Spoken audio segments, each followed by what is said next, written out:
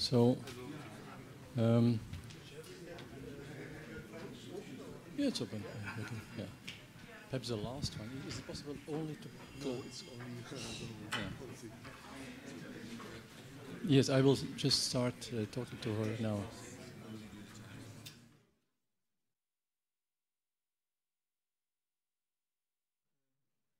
Dr. Dr. Wakayama, thank you for uh, doing the Skype from, uh, from Japan. I know you couldn't make it here because of the typhoon.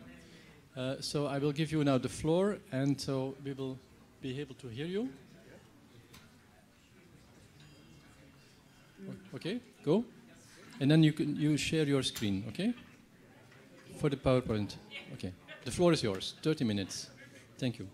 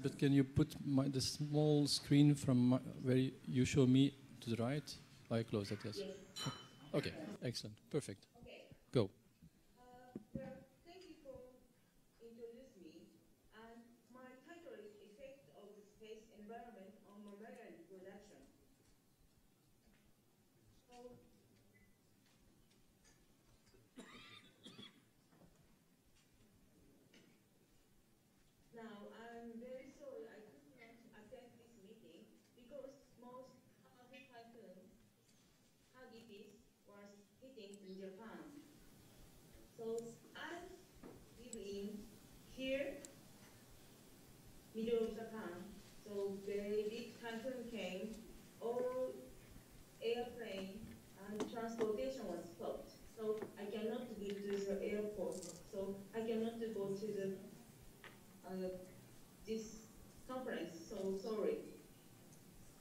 But this usually Japan is very calm and quiet.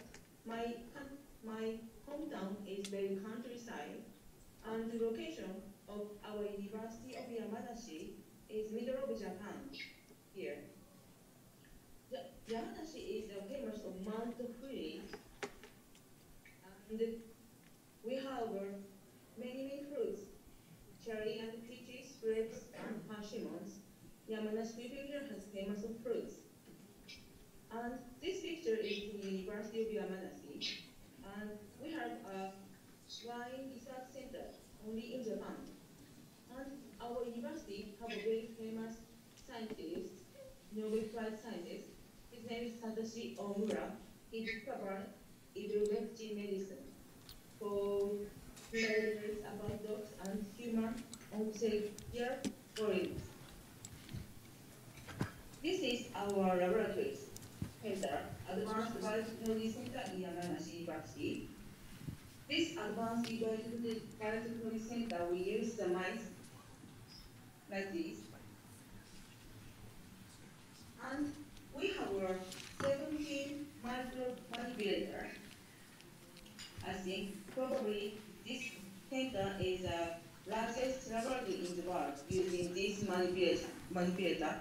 We are trying to generate offspring from cloned cell and cloning. Our research center has three research doing. One is ICSI, IVF ROSI, is a general gamete preservation, and cloned mice, make a cloned mice, and one of them is a space reproduction. All research content of the, this manipulation system.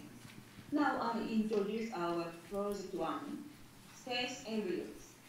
The space embryo project is a way the mammalian species can produce antimicrobial overnight.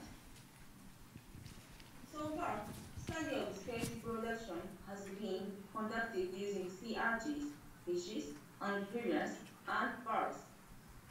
From this experiment, reproduction in space is possible. But it's not mammalian, so how about mammalian species?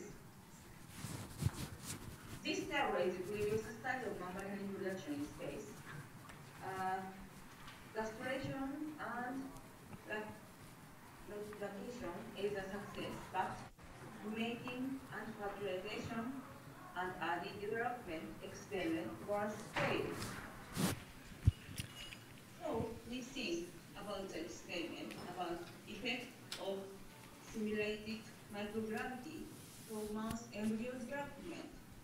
Because the space experiment is too expensive and difficult to get acceptance about NASA and JAXA, so we used artificial weightless device, 3D This was 3D Renaissance device. And we examined whether mammary embryo can, uh, mouse embryo gravity. This machine that rotates and contracts the gravity of the Earth. We have three questions. One is the fertilization. Is it possible to fertilize without gravity? And is it possible to develop the grasses without gravity? And such question is, is it possible to produce offspring from these embryos? So, we have a result. Uh, fertilization was possible without reduced success rate. And this was embryo development. And the development rate of the two-cell stage was the same between 1G and microgravity. Like this. But last this stage rate was significantly reduced microgravity. And we can um, comparison of the, of blastocysts. This was mouse blastocyst stage picture. Blue and green is a TE cell.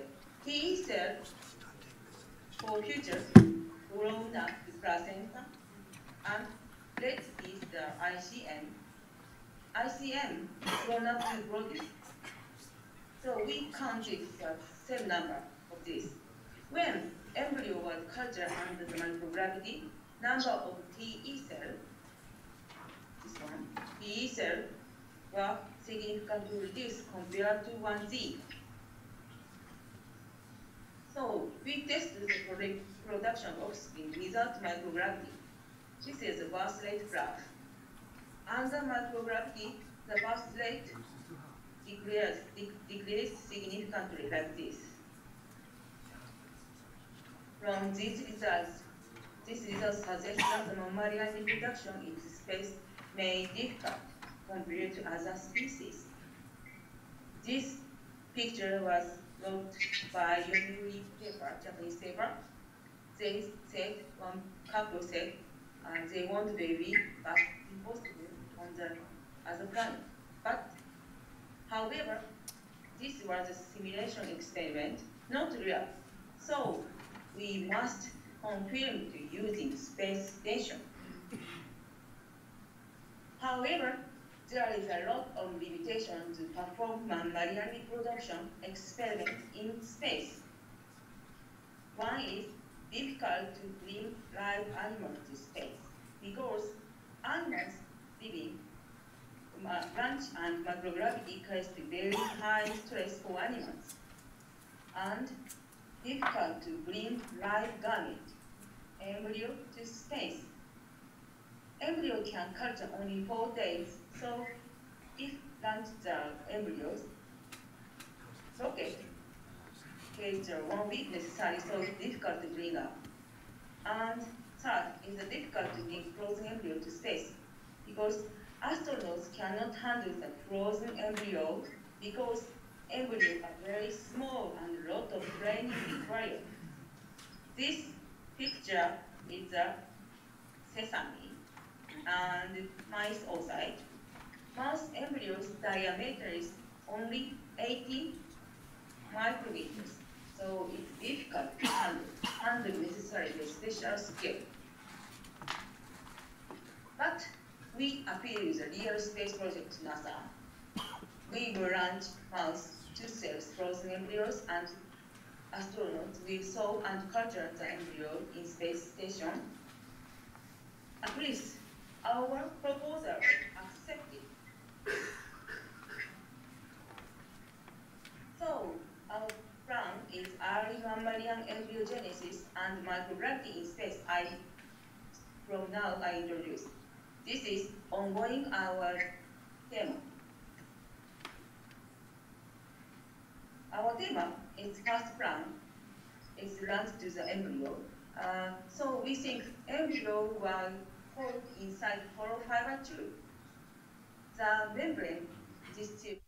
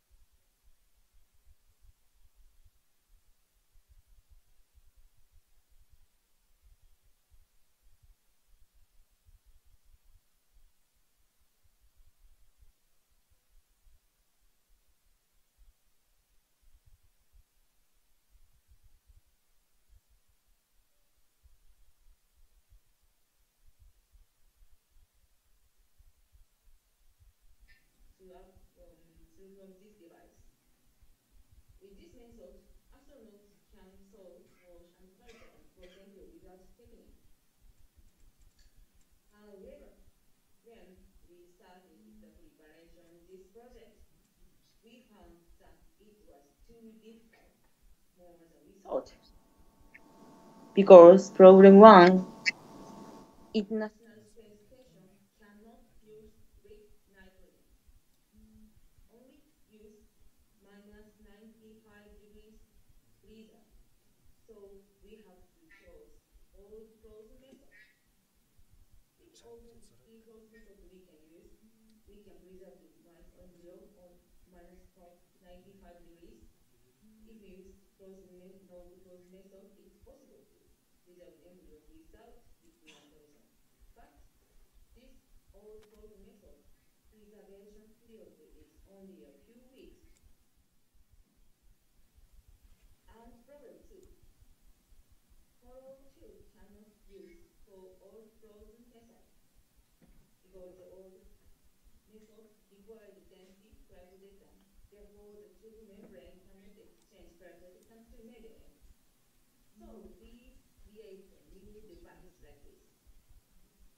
All embryo inside the culture in the back. We have to develop this hold on the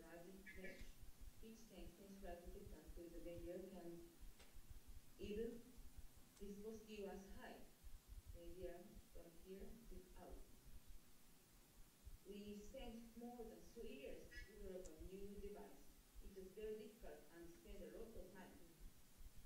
So this is recently designed after a lot of trial and error.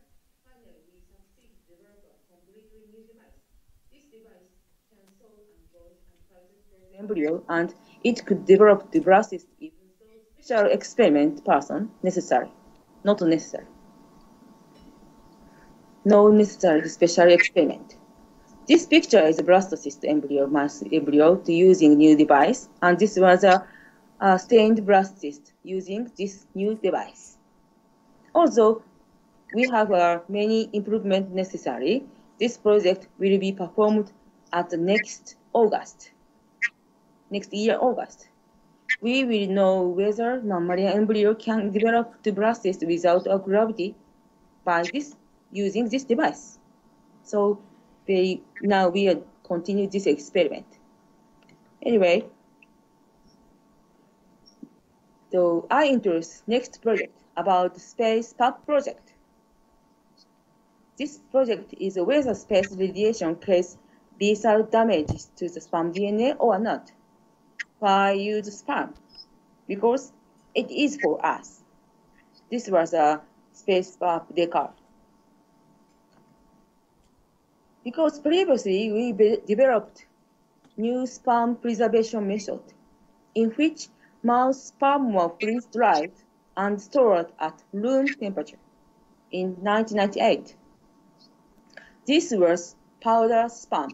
At the bottom is white is a sperm, powder sperm. And after float thawing, all sperm was dead, cannot move. But and cell membrane was broken.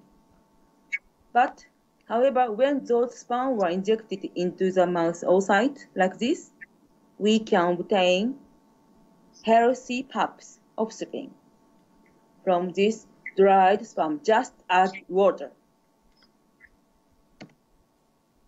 And freeze-drying sperm can preserve the room temperature, even stored one years. This was a freeze-dried sperm preserved in the desk drawer, like this. And we can obtain many, many pups from this sperm.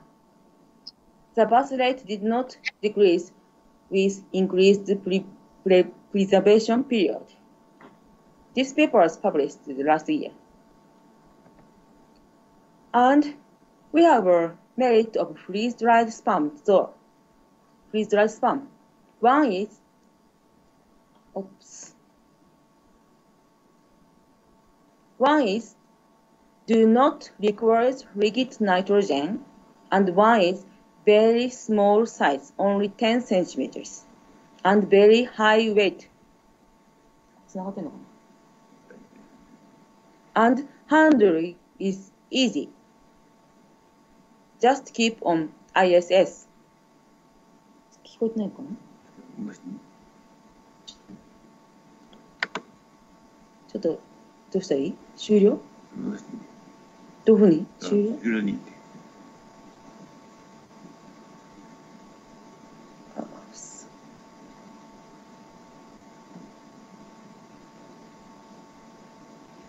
ごめんご？めん 5? 私しか映ってない。Can you hear? Yes, I can hear. Yes. Sorry. Yes. Yes, we can hear. Yes, I'm return back. Hello. Hello? Can you continue? Uh, Can- is, is your presentation finished or No, can no, you no, no, no, no. You can continue. Okay. Okay. Okay, okay. Yes. Sorry.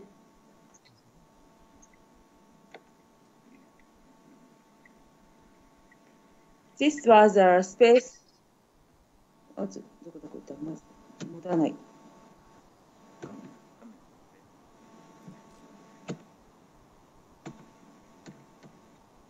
no, cannot move. Ah, okay, okay. So using this freeze-dried sperm, mouse sperm were preserved in the International Space Station for six years to know the effect of space radiation into sperm DNA. This project can be done only when only when freeze-dried sperm were used because freeze-dried sperm do not require the liquid nitrogen. So, in 2009, we appealed this project to JAXA, and then it was candidate to TEM. Right. This theme. This was uh, our theme, like this.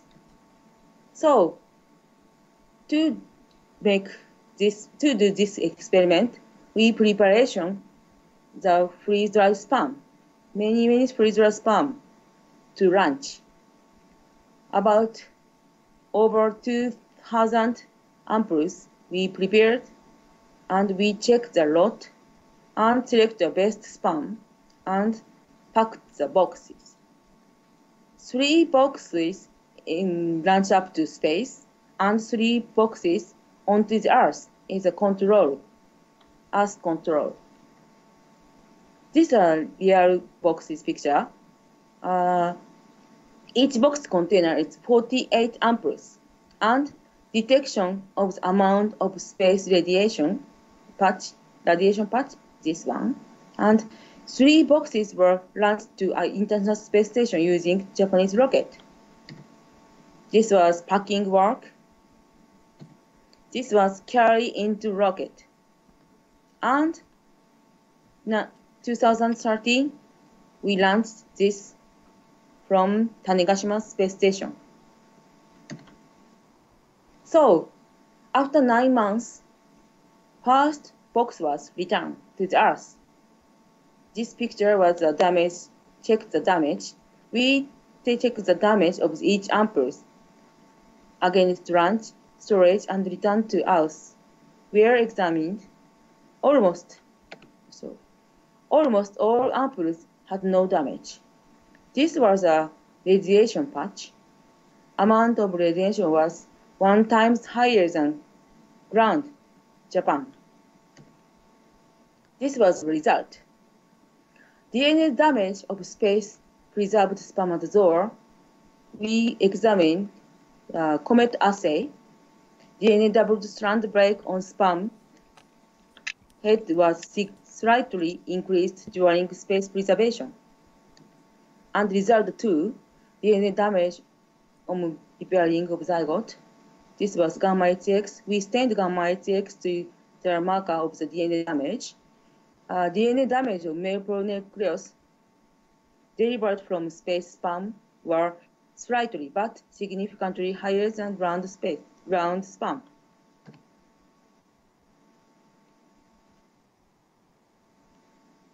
Uh, result three, production of offspring from space sperm. Space preserved sperm were injected into fresh oocyte by micromanipulator. We can obtain space pups. This was the world's first mouse delivered from the space preservation sperm. This is the birth rate graph. We bring the four strain mice. Although the birth rate was decreased from the original control is just after made, but this was ground things and this was space. There are no difference between ground and space. And result four is uh, we analyze NGS analysis. The results suggest that there are no difference between space and ground pups.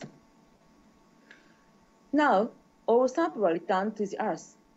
We published this paper and box one, nine months preservation. Already we published in 2017. Our paper was published.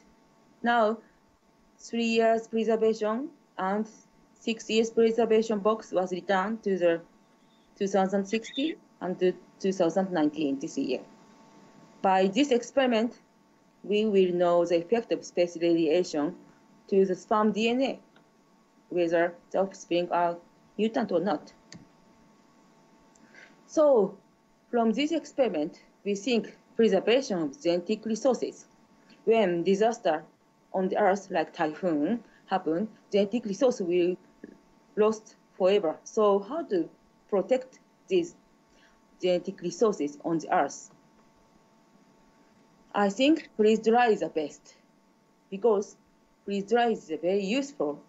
When major disaster on the earth was happened, it is safe and genetic resources on another planet or satellite.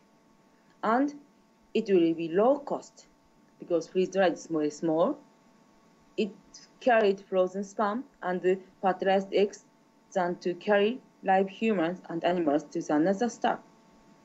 This is a very famous novel, the George R. Martin's Tuf Voyage. This novel set the preservation of the uh, Earth animals on their spaceship. I think this is a good idea, but it was thought as a science fiction like this. But this is our paper in 19, 2019 uh, 2017 PNAS paper, we said, we mentioned that the underground of the moon is the best place for planet sperm preservation, permanent sperm preservation in the even of the Earth, uh, disaster. And good timing, after we published, large lava tubes were found on the moon. So if use those lava tube underground the moon, it can be preserved as genetic resources. So how about tolerance of freeze-dried sperm? We found that freeze-dried sperm is very useful to preserve genetic resources in space. However, we have to know the limitation of the tolerance of the freeze-dried sperm we think. It is known that mammalian species has no tolerance against extreme environment, not like tardigrade, this one. Tardigrade against 100 degrees and vacuum and ultra low temperature when dry. However, our results suggest that the mammalian nucleus DNA rather than cells has a strong tolerance to examine environment as like tardigrade. So we examine the effect of the frequent temperature changes and high temperature to the freeze-dried sperm. This is a result of the examination. We examine the tolerance against frequent temperature change. From this experiment, the nuclei of freeze-dried mouse spermatozoa exhibit a strong tolerance frequent temperature change between room temperature and minus 30 degrees, even liquid nitrogen degrees. This one. We can obtain pups from this. And next, tolerance against high temperature. We put the freeze-dried sperm into the oven and we put the 95 degrees oven.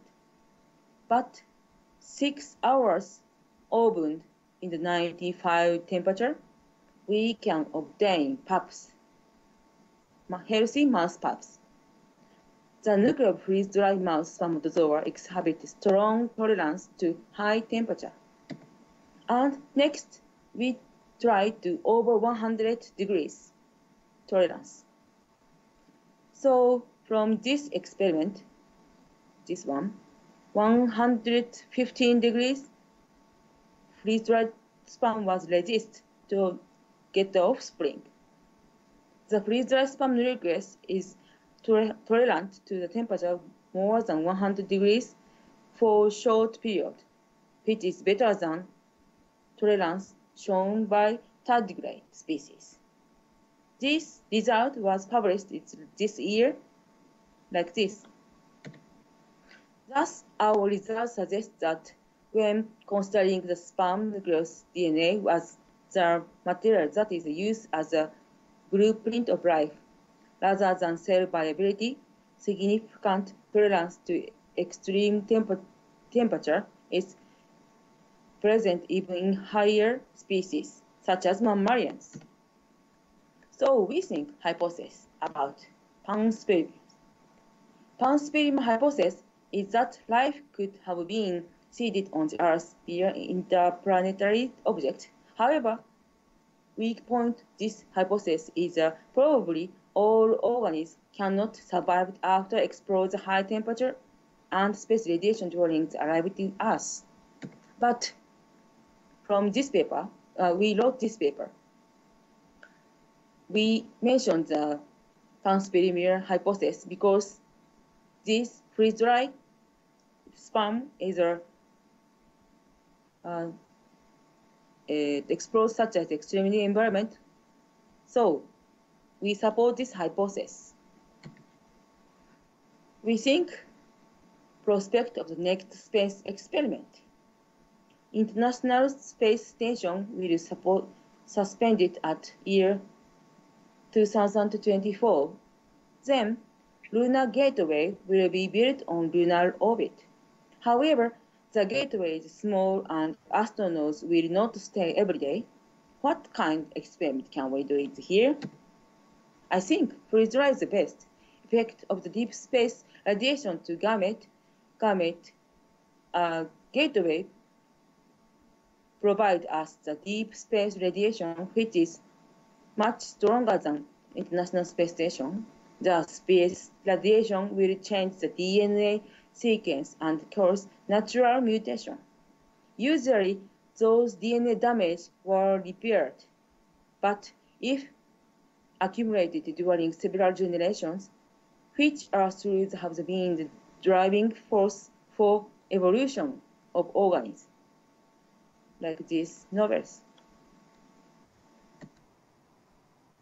We will apply the gateway experiment next stage when sperm were preserved on the moon or gateway, so the sperm were exposed to the deep space radiation, which is very strong but very natural. So the sperm will help us to clear the mystery of the life or evolution of the organism. In addition, it will promote the improvement animal breeding by increased natural mutation. Thank you very much. Very thank you very much for our laboratory members and uh, special thanks for Professor Flores and Dasha. Please, if you have uh, some question, please email this Absolutely. This address. We will certainly do this. Thank you so much for uh, your excellent presentation. It was absolutely fantastic. Thank you so much again from uh, from Japan, uh, from Europe to Japan. I will now give the word to uh, Jeffrey Alberts, the m- m- master of the chair of this uh, session of procreation. Thank you so much. Thank you. So, um, just so that uh, I can forecast a little bit, um, this was a session that um, sustained some some uh, perturbations and change. Uh, clearly, the um, the typhoon in Japan uh, altered this presentation, and we didn't get uh, the, the physical presence of the speaker. Um, next speaker is, is um, that was scheduled uh, could not make it either. So we're um, going to jump ahead to the third speaker, and who I'll introduce in one moment. And um, that that presentation will be um, uh, about 10 minutes longer, the way we've scheduled it, than uh, you have in your program. And then there'll be a, uh, I'll follow with the um, the third and final presentation before the the roundtable.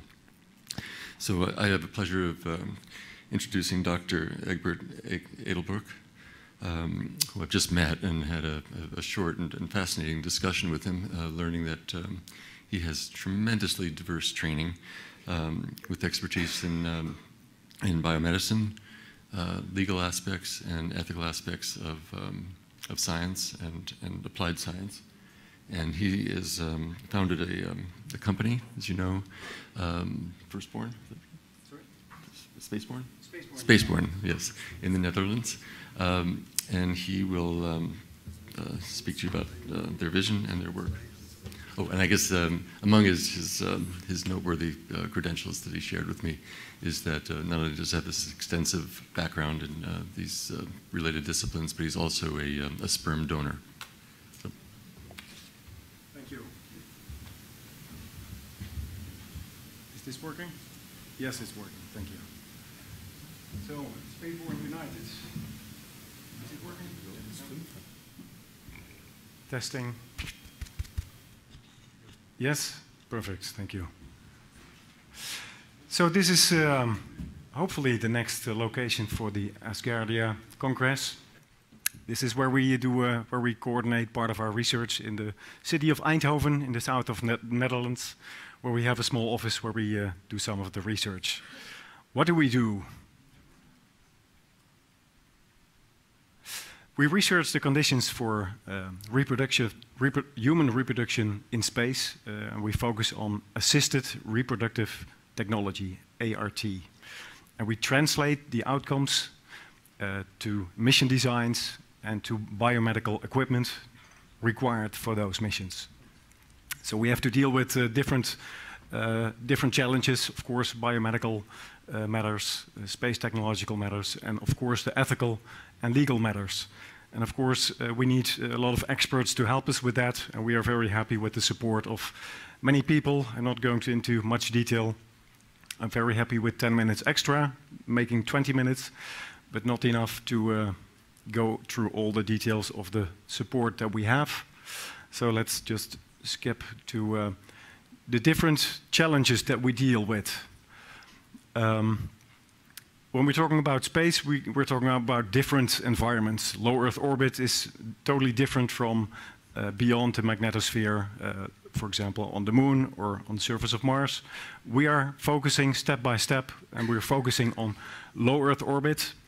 And uh, when we're talking about reproduction, um, that's a, a, a, big total of many stages, and we are uh, step by step um, going through those stages, and we're First, looking at conception and early embryo development. There's quite some overlap actually with uh, what uh, Dr. Wakayama is doing with her colleagues, but we'll go through it uh, during the presentation. Uh, next, please. Um, a big important difference is uh, we're, we're not dealing with, with human intercourse in space. We're not ready for that yet. So we are focusing on, on assisted reproductive technology, as I mentioned. Um, so I'm not, I don't have to explain all the, the challenges that have been mentioned already about uh, the gravity differences and the radi radiation exposure that we're dealing with. So let's move on to uh, the next slide. Um, this is a lot of details about if, if, you look at all those different areas in space and all those different stages of reproduction, each match will uh, create new scientific research questions.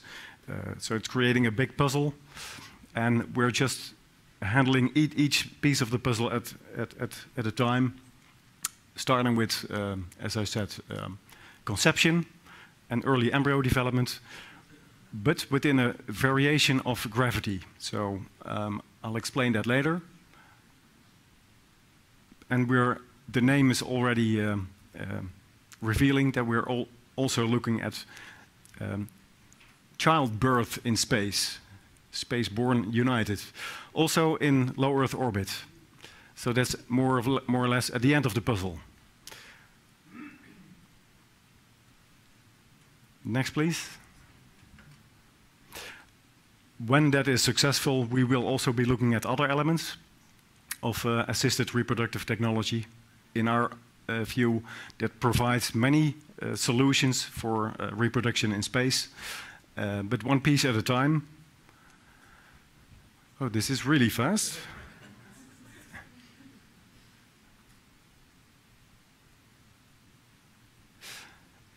Um, not sure this.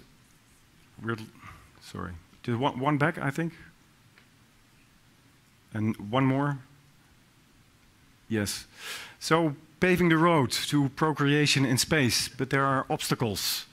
Um, why is uh, NASA or JAXA or ESA or even SpaceX, why, why is it difficult for them to accelerate this, this life science domain? Um, there are some challenges for the big agencies, uh, especially the taxpayer money issue. It's hard to sell projects that have a long-term goal, longer than some 10 years. And reproduction in space, all those different stages will take maybe 25 to 30 years. So that's hard to sell. And it's even uh, harder to sell if it's a, a controversial, uh, oops, a controversial theme like, like reproduction in space, dealing with delicate uh, babies and, and, vulnerable pregnant women. So, of course, that's, uh, that creates a, political explosive potential of, well, taxpayer money being spent on research in space. We are very happy with uh, Dr. Leyendecker. He's also one of our consultants. He did his uh, research on human reproduction in space, supervised by NASA. So, this is first hand information. Um, something that's also difficult if Obama wants to go to Mars, Trump needs to do something else. So he says we first need to go to the moon. So this alternating policy is also creating budgetary problems for the for the agencies, making long-term projects even more difficult. And they explicitly mention that they would like uh, individual focused companies to address these issues, and they will support it. So they seem to be happy with initiatives like ours. So back to this first focus, how do we do this? How do we look, how do we uh, research conception in low Earth orbit? Of course, we benefit a lot from the life science that already has been done by the different groups like uh, Dr. Wakayama or uh, ESA and NASA and other groups. And there are different challenges related to this research. Um, and we're talking about four to five days missions. And we're not only looking at uh, missions on board ISS or um, subsequent uh, vehicles, we're also looking at options in, in um, dedicated flights in a recoverable satellite, but I'll continue about that later. So we have also logistical challenges, like Dr. Wakayama explained. You need very late access to your uh, space vehicle because uh, otherwise you cannot uh, handle the cell samples any longer. But if you use dedicated flights, for example, um, Virgin Orbit, uh, they have the Launcher One, you can have access a few hours before launch. If you have your equipment built inside a few days before, and you have a biocassette with your cell samples to insert at the, a few hours before, you can work on a different way. So we are developing um, existing technology that is used on Earth every day in, in many IVF clinics. And as um, uh, per the professor explained, I'm a donor myself, so I've also from that role I learned a few things about IVF technology. Specifically about this device, this is an example of an embryo incubator um, where every individual embryo is, is, um, is monitored with a separate camera and you can follow um, 12 individual embryos. So this is a life support system, and we're using it, we are re-engineering this device to uh, apply in space. So we know what, um, what is needed in space, we know the, the different challenges in space, um, and we are, but the device that is used in IVF clinics every day is never designed, of course, for um, uh, small volume or light in mass or low in energy consumption. So we have to optimize the devices uh, for that before we can use them in space. And also, we uh, add a few functionalities. Um, we also work with, uh, we, we want to include artificial gravity because uh, we also want to find out will the embryos develop in a healthy way, for example, in a Mars-like gravity level. So that is essential if we want to have human settlements on Mars. We, we need to know, will embryos develop in a healthy way on that gravity level? And we can research that on a cost-effective method just uh, close to Earth in low Earth orbit. Uh, we also include uh, cryo storage. After five days, we, we, we uh, fix the cell samples. We deep freeze them like in cryo stage also to, to handle the, the G-force peaks it, uh, during re-entry and the shakings. Uh, we have different uh, groups that can benefit from uh, our research. Of course, on the really long term, the, the space tourism, uh, the, the, the industry focused at uh, human settlements beyond Earth, but also the space tourism industry because they are afraid of uncontrolled conceptions in space the space tourism could be a magnet for uh, in the upcoming nations in the space race to claim this unique uh, achievement to have the first uh, baby conceived in space. Um, China wants the first woman on the moon. Elon Musk wants the first human on Mars. Well, some country would be attracted to have this achievement of having the first baby born in space or, or conceived in space. So it's better to, to um, be ahead of that and, and um, research it before. And, and um, I don't have time to go really deep into this. Um, we also uh, use, um, we, we also have to mitigate the radiation problems. And we uh, learn a lot from uh, different research centers who are dealing with it. And we are focusing on um, uh, cell treatments, radiation resistant, uh, resistance enhancement, and a very easy one, just natural selection using cell samples from people who have a natural higher radiation resistance. Um, so what would be the output of a, of a research platform like that, a device like that? Uh, we can validate uh, cell enhancement treatments. Uh, we can also check other animals, other mammalians, and, and, and uh, find out which one will, will uh, live in a healthy way, which, which embryos can develop in a healthy way in different gravity environments. Um, and many other details which I will skip for now because of the time. Uh, but what, what expertise is needed to make a device and a research platform like this? I mentioned already the, the domains that we, uh, that we have to work with, the different challenges. I won't go into a lot of details, but you can imagine uh, in the engineering fields and in the biomedical fields, in the space technology area, and of course the ethical and legal areas. These are the kinds of research questions that we're dealing with and the, the types of experts and, and university uh, and industry partners uh, that, that we work with. Um, and altogether, this is our overview, which is maybe a little bit boring for now.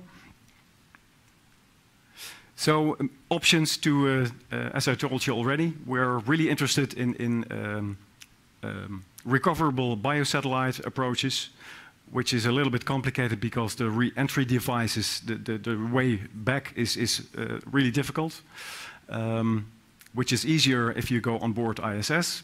But on the other hand, the, the test complexity and the, the regulations are, more elaborate when you go on board ISS because you could compromise other experiments, etc. Um, and then really good, um, nice advantage of, for example, uh, Virgin Orbit um, is that their plane, they can go to any country, uh, also in terms of uh, legislation, where legislation is slightly more beneficial to us, we can ask the plane to go there. Um, so that's what we hope uh, to work with eventually because that's also providing very late access uh, for our cell samples. Um, let's just continue with, oh, I already mentioned the, the space race uh, issue. We, we, sometimes get uh, information requests from, from Qatar lately, we, we got one. we're not very eager to, to um, continue with that because we want to do this on a very ethical, ethically respectable way. Um, but looking at the space tourism that might come in the next 10 or 15 years, there is some urgency to deal with these matters. Uh, we are called SpaceBorn United because we're also designing mission uh, where a pregnant woman uh, can actually give birth to uh, a child. We are not talking about nine months of pregnancy in space. We are only talking about a 24-hour, maybe 36-hour mission. Um, and this is only possible um, for now in low Earth orbit. And it is only possible thanks to a very um, thorough selection procedure. Uh, one of the elements, for example, is that uh, participants would have to um, uh, have experience in, in delivery already twice, completely flawless. So they, they have a personal experience that even the second delivery was much more fluent and the third one will be even more fluent. Uh, many other uh, aspects like natural higher radiation resistance also for these participants. Um, you can induce the constraint, the, the, the, the labor process um, like they do in IVF clinics uh, on a daily basis. So planning is of course an issue. Uh, you, it, it's hard to plan a natural process like this, and if there's something uh, wrong with the weather or the delay, the, the launch of the, the space vehicle is delayed, you have to deal with that. So we will not, we, we, can, we could never work with just one pregnant woman. We would have maybe 30 uh, participants, and they could step out at any moment because otherwise ethically it's not, not even possible. But the experts that we work with, they, uh, I, I have five minutes, perfect. The experts that we work with, they believe, and I believe, that this is possible uh, at a lower risk level than an uh, average Western style uh, delivery on Earth. And that would be the only way to, to make this possible. We're not really planning this, we're, we're looking at it. We're focusing on the, on the embryo development, on the conception in space. But we, are all, we, we have to look at this as well. Um, we, we, are called SpaceBorn United because we think this, this is another step in our evolution. And that should not be a Western white people thing, of course. That should be uh, a global thing with, uh, which includes many uh, nations and groups and races and religions, etc. Um, so we would hope to mix, um, we would hope to, to, to mix the, the staff and the participants And, and, and so we, we, we, we could have a, a Japanese uh, doctor on board and an uh, American uh, assistant and um, an Indian woman giving birth. So we, we would like to mix as, as, as much uh, groups as possible. So there are many challenges uh, in, in this mission as well. Um, but looking at the time, I don't think I should go into it too much. The biggest uh, challenge uh, we're still working on is, is, gravity peaks. During launch, you have some stage separation explosions that give some uh, G peaks, um, ju just microseconds, so it's not probably not, not a, too big of a deal, but still we have to, to uh, to find a way to, to make it as comfortable as possible. Uh, we, we benefit from um, the developments in the space tourism sector who are trying to make really comfortable uh, space vehicles, not just the military style trained people, but also uh, normal people like, like we maybe can take uh, part in those. Uh, um, let's continue. Uh, next, please.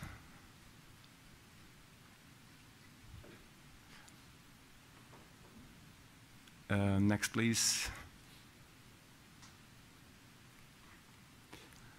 Oh.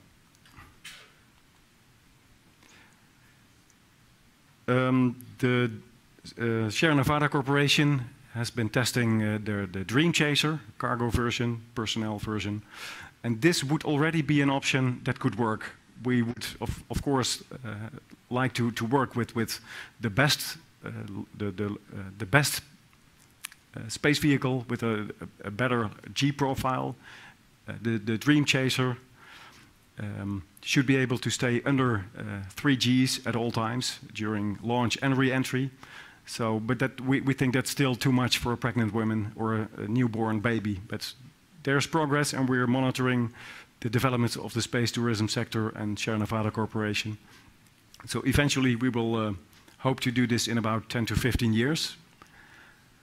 Another option would be uh, on board um, ISS or an alternative, like the commercial space station that uh, Bigelow is testing already.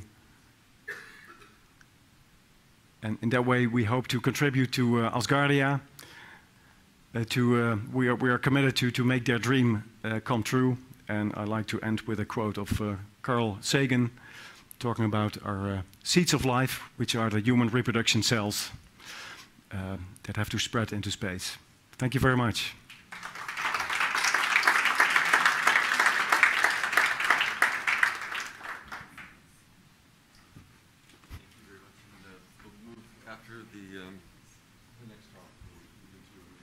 so you'll have a chance to um, ask questions and discuss these uh, myriad issues that, that your very provocative talk raised. Thank you. So, um, would you keep time for me? Yeah, sure. So give me a five minute. That'd be great. So uh, I'll just repeat the thanks that uh, you've heard, uh, but they are heartfelt to um, be able to contribute to this really exciting meeting and um, and for me, this was uh, an instant uh, introduction to Asgardia. Um, I, I, was so focused on just the, the event of coming to a, a space-based conference. There was actually going to be an afternoon session on procreation in space. It's been a long time since I've had an opportunity to, um, to share uh, my thoughts and, and, uh, and data um, with an audience on that topic because NASA um, after a, a, a wonderful phase of, of, exuberant support for developmental biology in space, um, changed course, and um, there was suddenly next to no support for um, for these endeavors. So things got very very quiet. So um, when Flores, when you first uh, made it reached out to include me, I, I, was just astonished because all this what more could one ask for now to have a chance to talk to a, an audience about it? So I appreciated it. And then I came and had this um, short but really stimulating conversation with Flores in the first evening. And I, um, as I confessed to you, I started thinking very differently about my talk. And so I'm going to um, have, there'll be some facets. The data have stayed the same. I'm not changing the data. But um, the way I want to frame the data and, and share my, my feelings about it with you has, has altered significantly, and it would be fun to, to, um, to do that and to get your feedback. Um, so shall I um, change the slides verbally? Is that the idea? Next slide, please. No? Okay.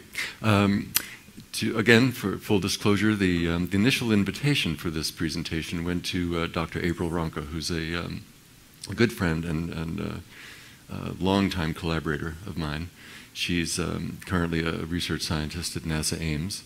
She was for years a, um, a, postdoc in my lab, and during that, that phase in her career and mine, um, we had, I, I brought her into a, a, shuttle experiment, and she excelled and, uh, and also got the, um, got the bug. And um, is now, um, as I said, a, a full-time researcher. Unfortunately, for April, she couldn't attend. Um, the invitation moved down to me, and um, I'm here on her behalf. I, you know, I would have put her, her name on the um, on the title, but I didn't have a chance since I changed my mind about this talk to um, to include her. But I just I do want to acknowledge her um, and many other people, of course, but uh, April's especially important. The next person to acknowledge is Konstantin uh, Tsiolkovsky, um, a, a, Russian rocketeer, um, father of, of, rocketry in, in in Russia, um, an author, and um, famously uh, uh, stated that Earth is the cradle of humanity, but one cannot remain in the cradle forever. And this is a prescient, especially for, for this audience, an extremely prescient statement. It's been around for a long time, it's gotten lots of press, but I thought it was worth bringing up um, today um, for all the obvious reasons. I think it's wonderful that, that we have him and his, his quote here.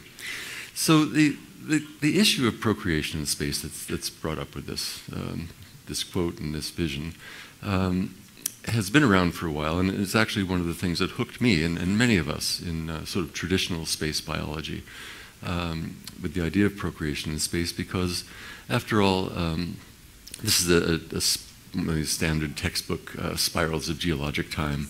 Um, we are used to thinking with great excitement and pleasure in a very academic way to start to appreciate the evolution of life on Earth and eventually the, the evolution of vertebrate life and eventually the evolution of sexual reproduction. And there are experts and thinkers and geologists and paleontologists and biologists. Many of us have been absorbed in, in this process.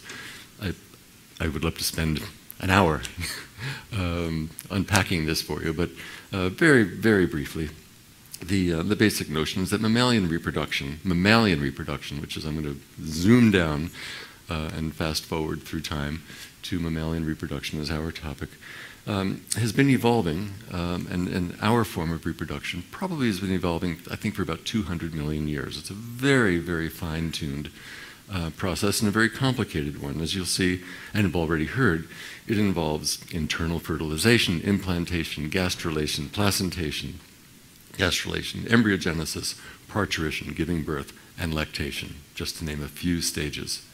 And one can, in a very academic way, march through each of them and do our questions and tests. Can this happen in space?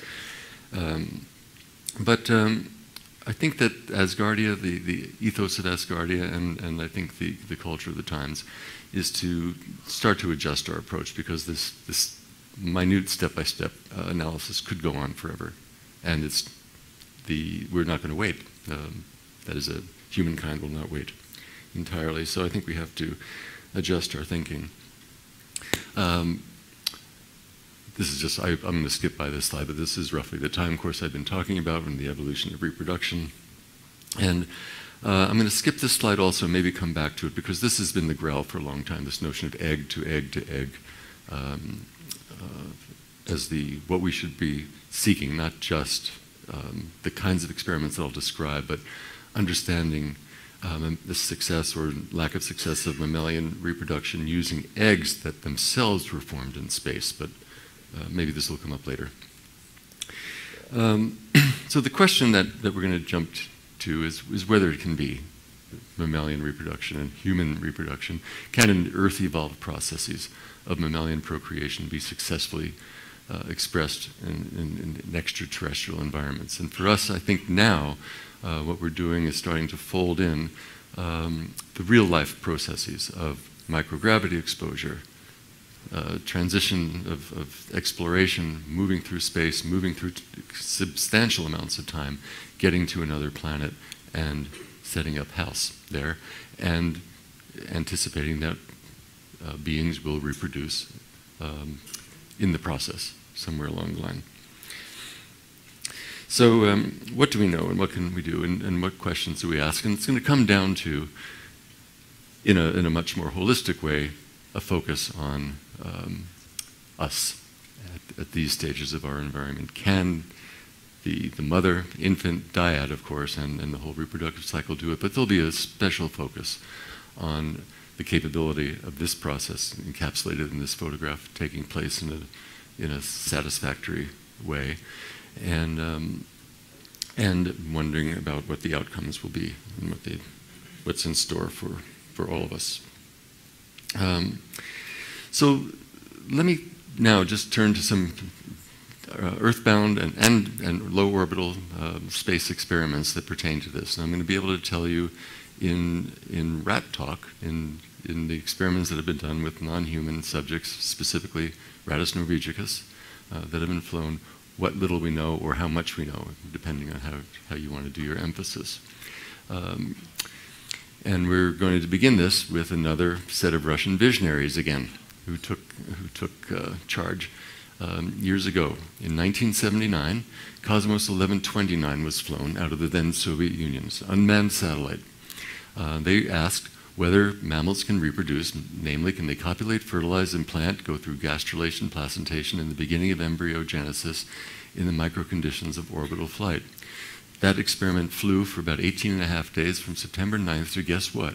October 14th, 1979. 40 years ago today, Cosmos 1129 landed.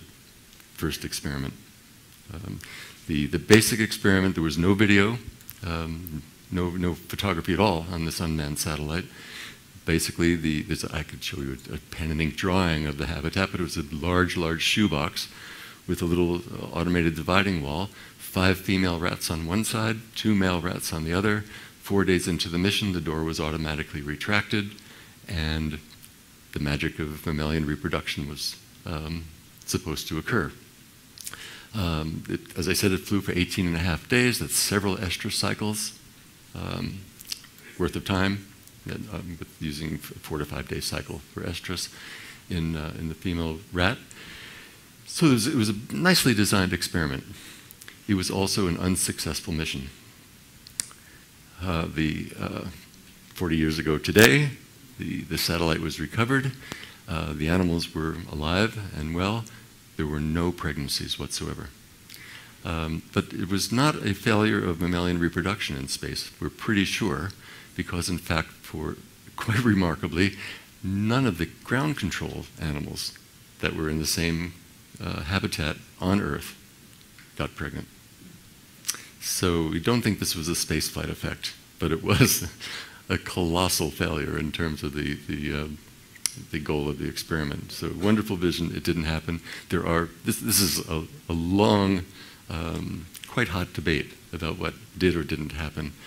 One explanation is that there was a light leak um, in both the ground habitat and the space habitat that disrupted the, the, uh, the reproductive cycles and the estrus cycles. That's just one explanation.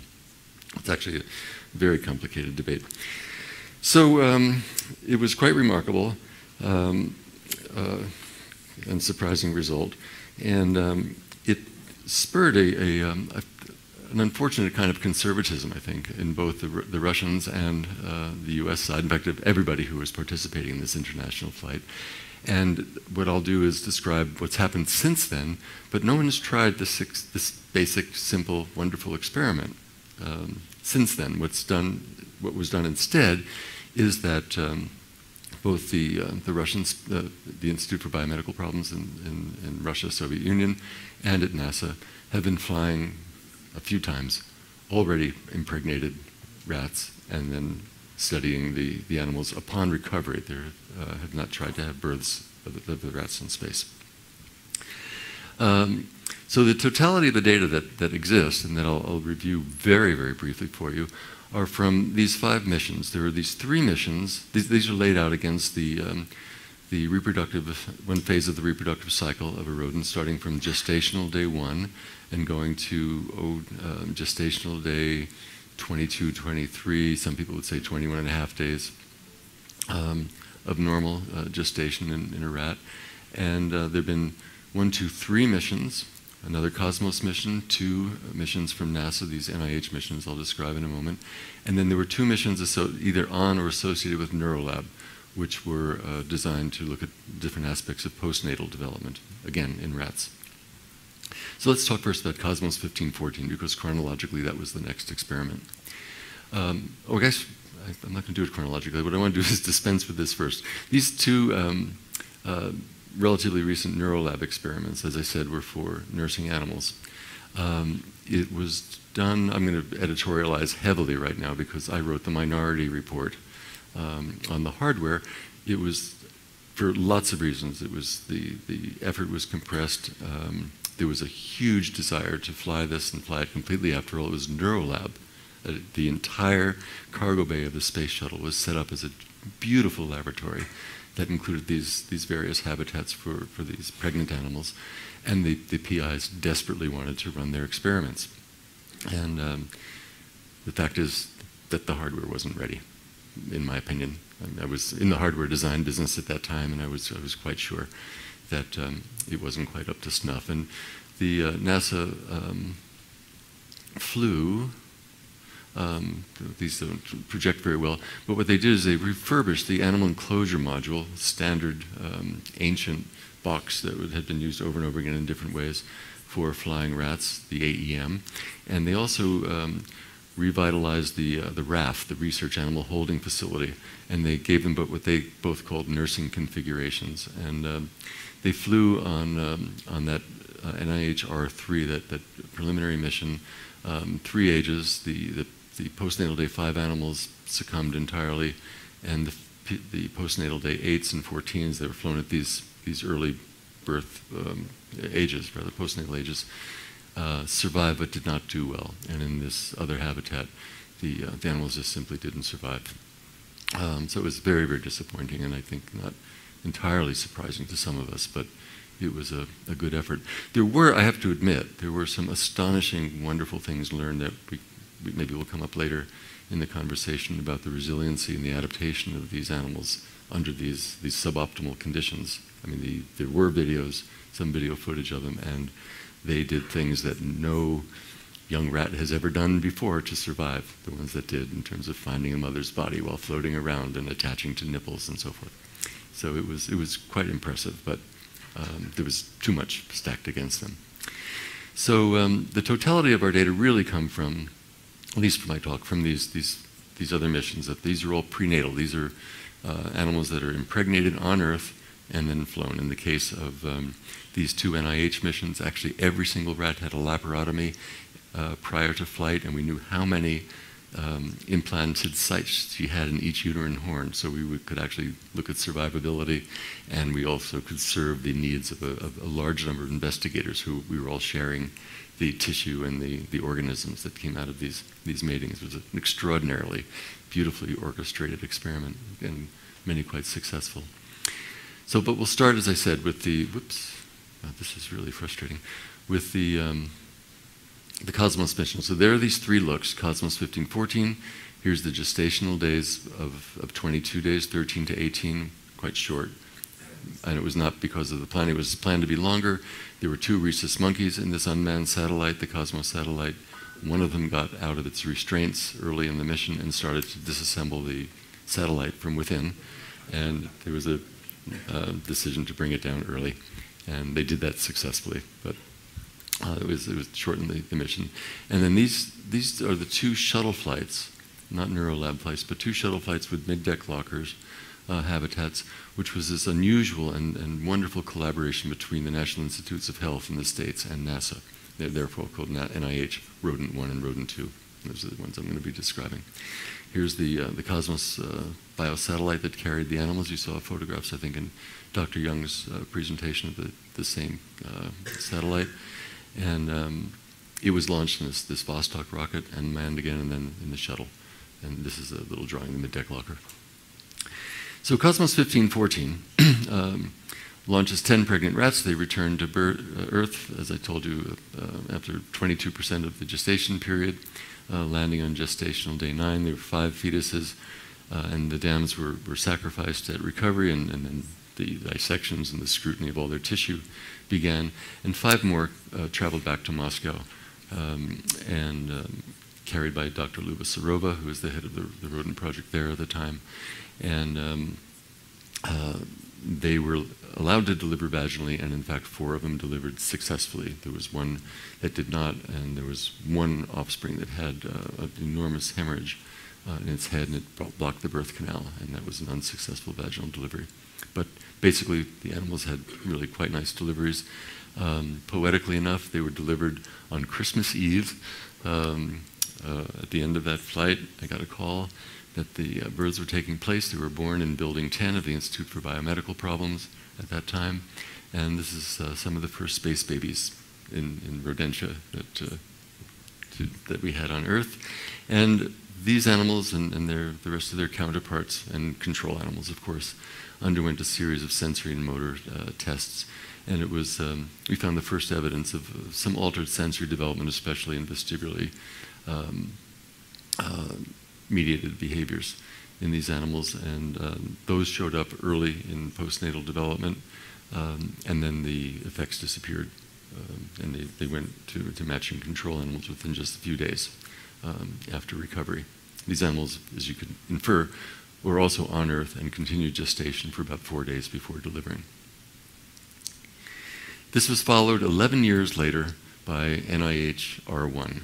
Uh, during those, that 11 year hiatus, where there was no such developmental biology flown or, or attempted, the Challenger exploded. That was a huge setback for, for everyone and, and um, both hearts and minds and, and plans. The International Space Station was established in, in that interval, and priorities and schedules and everything were, were vastly uh, different. That's the uh, hiatus. But then we did fly uh, NIH R1 and R2. We had, um, we had astronauts on hand, although, and they could pull out the mid-deck lockers and do some videos. As there's lots of changes going on prenatally, and it's, it's a, a model of uh, one way or another of all vertebrate vestibular development. Um, as we did with the Cosmos um, uh, test, we did a standard test of, of, what's called righting. You put an animal on its back, you hold it very gently on its chest with one finger or so, you release it, and there's a reflexive righting response. They go back onto all fours. And it's actually a stereotype response. There's a corkscrew movement the animals show. It's age dependent. It can be, be studied very carefully and quantified nicely. As in um, the Cosmos experiment, this test, which is often interpreted as a vestibular test, the animals behave just like controls. But this is not, it's hardly purely vestibular. These animals are put on their back, they're held on their chest, they're, um, they're manipulated, they have all these proprioceptive and cutaneous cues about being upside down on their backs. Um, so we also um, used a, a, modification of this test, which is called a, a, a water drop test, in which we would take an individual pup, invert it very gently, um, but not touching anything, and then, as I can show you in this slide, I hope, at about this level in this body temperature um, tank of water, release it. Dive reflex takes place instantly. No water is aspirated. The animals do, can do just fine. They're just scooped out with a little fish net at the end. And they release at this level, and here, right after release, as the animal is slowed down, so we can't do an airdrop at this age, but as it's slowed down by the, um, the viscosity of the water, this animal is starting to right, and by well before it gets down to the bottom, every animal will, will right itself and, and land on its of all fours, so to speak. This column shows a flight pup who's been released exactly the same way, is not righting, and in fact lands on its head. Stunning, exciting. Um, and we concluded at this point these pups had read the textbooks. They have, have had uh, a, functionally a deafferentation of their vestibular input.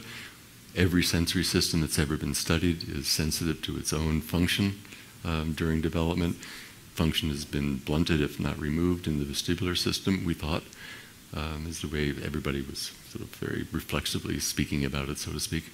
Um, and it was, it, was the first time seen, but it was, it was not entirely shocking. It was what we wanted to see and, and we're expecting to see actually all along. Um, but again, quite exciting. So, um, but again, these are animals, and, and, by the way, these animals then recovered two days later. They're showing normal righting under these conditions and, and, uh, and look just like controls.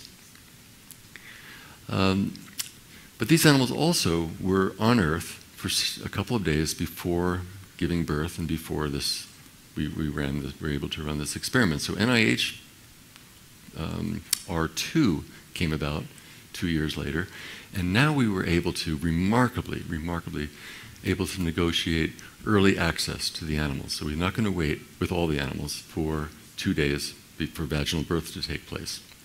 I'll, I'll say something maybe in, during the question period about these vaginal births. But in, but in this case, we got the animals two hours after the shuttle hit the the, the runway. Two hours later, they were in our lab uh, at the Cape, and um, we performed what we April and I had been doing for years as part of the ground-based research. We've been studying prenatal sensory development, um, just in sort of the NIH context, for a while, and had used some fairly then innovative techniques. And specifically, what we were doing is doing a, um, a spinal chemomyelotomy of the, the pregnant dam. So we would give an injection um, into the spinal cord and, and, remove all sensation and, and movement from the point of the injection down. So we were able to have a, an insensate, actually, if we kept the quiet in the room and turned down the lights, the rats would fall asleep while we were doing, the moms would fall asleep while we were doing the experiment.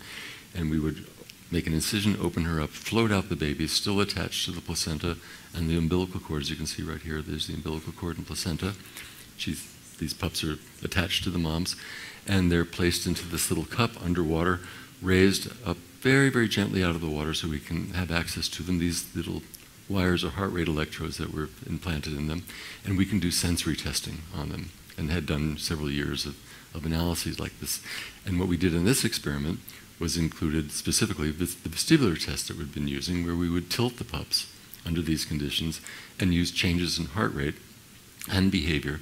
It's this, this enormous heart rate deceleration called an orienting reflex, which we had mapped out and quantified and you know, done all the, the background work on, to be able to converse with these animals and say, can you feel this? in this case, the this is tilting them 70 degrees, the way that they would experience a mother in a laboratory going over to the wall, rearing up and going back down, and, and that was the, the duration and the extent of, of that activity. And what they told us was, oh, here's this is a, the mom rearing, here's the pups in the, the cup being tilted. And what the pups told us was, these are the flight pups, these are their hearts, huge decrease in heart rate, enormous decelerations that we were seeing, and very sustained. Um, they were telling us that yes, I can detect this just fine. In fact, I can detect this more dramatically and better than the control animals at these ages. So now we have this crazy finding, wonderful finding, that when we do the first test I described, which is a test designed to to uh, challenge animals with a, a, change, with presenting a linear uh, acceleration, turning them upside down and releasing them, they are hyposensitive. These pups are looking hypersensitive. Um, and whoops, going ahead a little bit faster than I wanted to. Whoop, now we're going backwards. Um, and the um, but when we looked more carefully at, the, the test we're using, we realized that what in this tilting test, we're not giving them a test of sensitivity to linear accelerations. We're actually giving them provocative angular acceleration. So perhaps what we're seeing are is a hyposensitivity to the gravireceptor system and a hypersensitivity to the angular acceleration systems. Our colleagues on this experiment, uh, Bernd Fritzsch and Laura Bruce, um, were doing the neuroanatomy, and these are, are counterstained um, sections of these, uh, of the, the, brains of these animals. And um, let me just give you this, this quick summary slide, maybe. What it's showing you is that, um, again, we have this, these compromised or delayed responses to the linear accelerations, precocious or hypersensitive responses to the angular accelerations. And what the anatomy is saying is that we're seeing a preponderance of unbranched axons with growth cones, presynaptics, um, and the going to the, um, the, the medial ventral nucleus in the vestibular system. But remarkably, the number of synapses in that nucleus are the same in controls and in flight animals. So what this was showing us quantitatively is that the the ventral, the, the vestibular nucleus synapses, um, again, are the same the flights and the controls. But what's happening is that that nucleus is being invaded by low numbers, of very uh, extremely high numbers of uh, synapses coming from the linear accelerations. Thank you. Um, and there's a very low number of the angular accelerators. Um, I'm sorry, a high number of the angular accelerators. So there's been a Darwinian competition at the level of the nucleus, and the the, uh, the angular accelerators are winning violently. I'm, gonna, I'm running out of time, so I'm going to go very quickly. What I want to tell you is that we, we did a kinematic analysis of the mother's behavior during flight um, to see what, was, what the pups were experiencing in her. And what we found very briefly using this method is that the mothers in flight are rolling because they have six floors essentially, and they go from floor to floor to floor, so they're, they're turning on their longitudinal axis. They are hyperstimulating their babies in the rolling movement, which is the movement that where the, the, the pups are showing the, the accelerated response. I'm going to have to go on from that. So let me just, in one minute, just say that this is opening up, especially in the context of this meeting, um, reconstructions and re recognition of old, old data that um, are, are, really becoming more and more exciting to me. And the notion is that I want to stop and I think that we should consider no longer looking and asking questions about spaceflight and microgravity as being essentially a, a teratogen. And I think we've been doing space experiments as teratology experiments, looking for defects and monsters and breakdowns. And instead, what I'm suggesting that we do is take, look at the same data and look at other data that we have and start appreciating what we know about the development of the brain and behavior. and that the space environment is a different environment, and we can start specifying ways in which it's different, whether it's with the mother or without, and that we can uh, start to appreciate adaptation in the positive sense and start to understand changes that are adaptive changes in those environments. And then there's going to be a dance in how we sculpt and monitor and, and manage these environments and the beings in them and start to appreciate the lawfulness of the outcomes. And I think it's a, it's a just a change in emphasis. But as soon as I started talking with you, Floris, about this, this, the implications of changing this emphasis just started to, to unfold in front of me. So very, do you mind if I just give you a couple minutes of this? Very quickly, this is from a, a beautiful paper that I, I, have to share with you, and, and, I'm happy to share with anybody here who's interested in it, by a guy named uh, Fred Previc, who uh, has done a, a I don't know him, but gosh, I've, I've, read some of his work. It's just astonishing. And this 1991 review paper uh, is one in which he is looking at the development of laterality in the brain and handedness in, in, different aspects. And this is one of the figures from this Previc paper in which he's showing the, the stereotyped orientation of a human fetus and, and just unpacks this in, in remarkable detail, saying that the shear forces that, that act on the the two uh, vestibular sets of vestibular receptors in the ears are unequal, and the stereotyped position is right ear out of a human fetus. This is this is huge literature, goes on and on in his analysis, but basically he winds up arguing is that lateralization and handedness correlate and probably, he argues, derives from the differential shear forces that go act on the two vestibular, two sides of the vestibular system. And he compares it to this non-human primate, this baboon, which carries its babies differently, and, and because of the way it ambulates, has equal shear forces on the, the, the, the, two vestibular organs. And in these animals, they do not have laterality and, and favor the handedness or footedness, in fact, which is a big part of the, the Previc analysis as well. It's a lovely paper, more than lovely, astonishing paper. Um, classic 1960s work by Held and Hein, who um, raised kittens in the dark and then gave them visual experience um, in this field. And the outcome was is that kittens that whose visual experience was the same as the animal to whom it was yoked, but this animal on your right is sensing the reafferent feedback from each of its movements in, in corresponding to its visual input, and it develops a visual system and visual reactivity that is far superior. This animal who's seen the same things, but it's not coupled to its behavior and proprioception and the, the ways that the vestibular input has probably contributed, doesn't develop the ability to to see looming targets, to, to navigate visually through the world.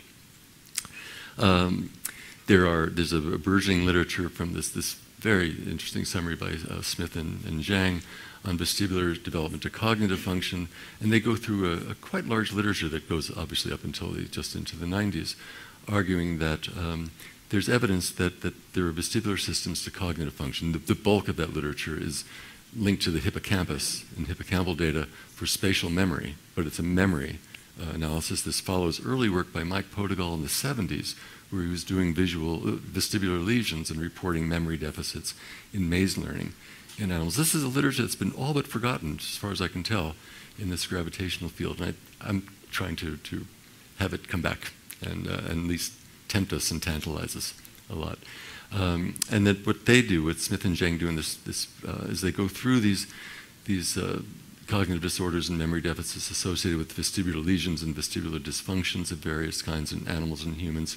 They do a very nice job of, of working with the literature, dissociating the effects from the secondary things for hearing loss and disrupted motor control, and in humans, anxiety and depression that might be associated with it, and say that there are still changes which are worth noting. They integrate this with um, with likely changes in the ascending pathways to the limbic system more generally, of course, including the hippocampus. I would include the cerebellum, Floris, I would include an insula as the place to look. Uh, it's just one of my, my uh, pleasures. And then they bring up a, a beginning literature around that time of, of uh, looking at galvanic vestibular stimulation of intact vestibular systems, where they're augmenting, aug augmenting uh, this, this vestibular inputs and arguing that you get modulated cognitive function. I just think this stuff is delicious. It's just exciting and tantalizing. So I would just very briefly just like to reframe the issues a little bit, but I think that little bit of change in emphasis, as I said, opens things up really vastly differently and different way of thinking about this. And we should not be just looking for well, we've got this, this optimal adaptation, which isn't true, of course, to Earth, and anything that deviates from it is a, is a disruption and is a deficit. But instead, we should go to developmental process and recognize it. And so we don't think about us as Earth normal, Earth typical being optimal. Uh, we don't. We, we drop this teratogenic perspective that microgravity produces anomalies and, and, and these are pathologies, and instead start to look at adaptive um, effects of spaceflight and altered G, short of, of course, radiation damage and, and things which are, are harmful to the animals. So I would suggest that we reframe the endeavor and expect that we should start to imagine defining what I would call, slightly tongue-in-cheek, but slightly not, the astro um, neurome. This is our brain and derived behavior that comes from being, exploring and inhabiting uh, space. So this is the uh, neuroscience aspect of astrobiology as it should be. And I think this astroneurome is could be a great adventure, and I think it's where we're going anyway, and I think we should recognize it and, um, and start to learn how to, um, to explore it. And uh, in doing so, I think it'll, it'll be rewarding and, um, and maybe the, the way we will get into the future. So thank you very much.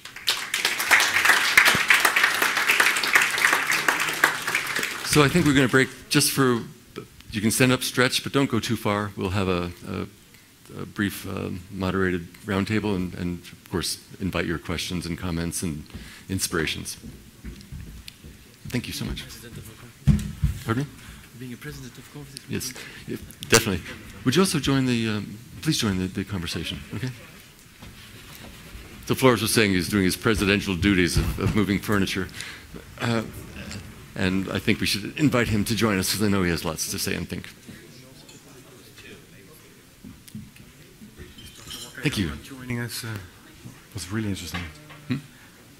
Oh, your presentation. Sorry. Okay.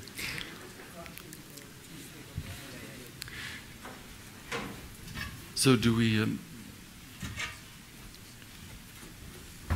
will we have a, a video participation as well? No. No, no, unfortunately not. It's too complicated. So it's beyond our technology today. You've got the three of us, and we have you.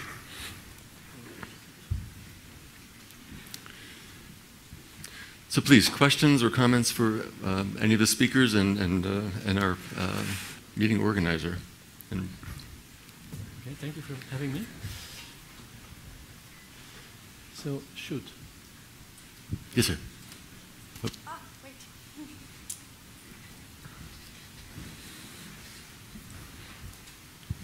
Uh, Thank you for the very, very nice talks. I have a very quick question for Jeff about the very last um, slide you Mhm. showed about the adaptation uh, for space life, let's say. Does this imply that people that was adapted to live in space will have some trouble going back to Earth or going to Earth and need training and spacesuits or something like that? Well, I think, I mean, we, NASA, I know, speaks a lot about not just um, space adaptation, but readaptation to, to 1G post-flight. Um, and I'm not sure how, well, I think that we've been fairly conservative here, but I mean, some people are, who are, have colonization thoughts or one way to Mars, you know, considerations, uh, don't worry about readaptation. But in, in uh, the foreseeable future, yes, I think there'll, there'll be questions about readaptation for sure. Keeping in mind that everything that I think we've seen from these little tiny snapshots, these, these windows of, of exposure to micro G and readaptation, uh, certainly in, in non human animals that, that come back to be studied behaviorally, um, the vestibular system and, and the associated processes show enormous plasticity. And I think, to me, one of the lessons learned about from this research is that um, vestibular function is something which is maintained. It's not imprinted um, and, and, and established developmentally. It's something which is a, a part of ongoing uh, maintenance. So I think we see lots of, of readaptation and lots of, of signs of, of things hanging on for, for surprising amounts of time in our bones and our bodies and our brains as well. Coming to that, I think it's important to realize that um, it, as we saw, apparently we can stand even 105 degrees or 110 degrees if you're dry freezed, um, freeze dried. Sorry, uh, but uh, gravity is the, the most fundamental uh, constant throughout evolution of these billions of years of Mhm. Earth. Uh, it has been cold, warm, dry, wet, whatever. Uh, so we, ha- we were able to adapt to these changes, but actually gravity is the only sole constant. And the, the most simple creatures, they all, ha- even plants, have gravity sensors to, to grow up to the right direction. So gravity is the most fundamental thing. So I know you, you say it's a question of adaptation, but to my belief, um, and like also the logo of Asgardia, uh, so the bottom line is actually the, the uh, referring to, I mean, bottom uh, circle is referring to artificial gravity. Uh, whether it will be one G, half a G, uh, one third of G, but we need G Yes. To Mhm. continue as a Yeah, what, species. what I found remarkable, I mean, one way we, one could, in theory, develop a system where you have a, a, an absolutely dependable cue, like gravity, is you say, well, at a certain point of development, we'll just imprint on this, lock it in, and we don't need gravireceptors in the sense that, that or, or a system to, to adjust all the time. It's always there, we'll just, we'll do it once, but we don't do that.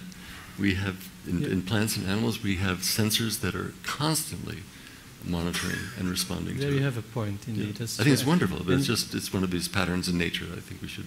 And it has been shown with, when rats were spin around in a centrifuge when during gestation that their uh, the gravity detectors have been have a different size than, than the, the control. So indeed, as you say, from the beginning, when there's a, ch- a shift in gravity paradigm, we somehow adapt. So eventually, when we may migrate, and you have to think like, where will humanity be in 100,000 years? When we left, perhaps, or when a certain group left Earth, and there will be less and less and less gravity, that indeed we may develop a different uh, type of person. Yeah. But okay, that's we will And in the meantime, maybe a different type of cerebellum, a slightly different Sure. kind of hippocampus, different. Yeah. But way it's of true that what you say, uh, actually, what what we also saw from our experiments with the cosmonauts before and after spaceflight, the brain is so tremendously plastic and so adaptive to new paradigms that, and it's coping with it. So, Mhm. uh, where I mean, when I grew up, I was told after the age of 18, it's It's fixed. yeah, forget. I mean, you only go, you go only go back. Um, and there is no neuroplasticity, Right. but there is so much neuroplasticity. You just have to look at the right, in the right spot. Right. Okay, I've talked enough. Questions? Yes, sir. John, John Bedell from The Guardian. Can I ask, ooh, sorry, very, very simple question, but, but no um, such thing. are, are you saying basically, let's not worry, let's get up there, um, we're going to change, it's going to change us, we don't quite know what the changes will be, but they, we must see them positively because it's going to be our evolutionary uh, pathway to somewhere else. I mean, is that in sum what you're saying? You're, you're, you're very upbeat about it. I love it. It's fantastic. But is, is that the, the bottom line? That it, it's okay, get over it. I, it, it, sound too. It sounds too cavalier when you, um, and, I, and I don't mean to sound to sound that cavalier, but, um, but yes. I mean, Well, you, you, wouldn't, you, would, you would not hold your microphone like that if you would not be adaptive to situation. I mean, a hundred thousand years ago, we were already walking around. We didn't have microphones, but something else. But so the fact that we are here the way we are is the fact that we adapt. Can you give us some idea to what we might adapt? And what, what might we become? I, I'm, I'm not envisioning, when, when I make those remarks, I'm not envisioning um, and they're, you know, these science fiction characters that I've read about, and they're, they're very exciting um, in terms of what might be become. But I, I think what I'm, I'm this experience of, of coming to this meeting and, and, and a little bit of thinking I did about it when I started having this transformation is I think I started to switch from a norm to appreciating the variance that we already have. Um, and then thinking back to that Previc picture of the, of the infant inside its mother, and, and depending on the, the placement of, of her uterus and, and the placenta and all the things that, that vary can determine handedness. Handedness determines some aspects of cognitive function. These are very, very, very modest things I'm talking about. But, and in, and in practice, of course, I'm, I'm terribly interested and concerned about the ethics of all of this work, and, and there are boundaries to, to, but I would sort of freely say, you know, we, we could uh, entertain this change.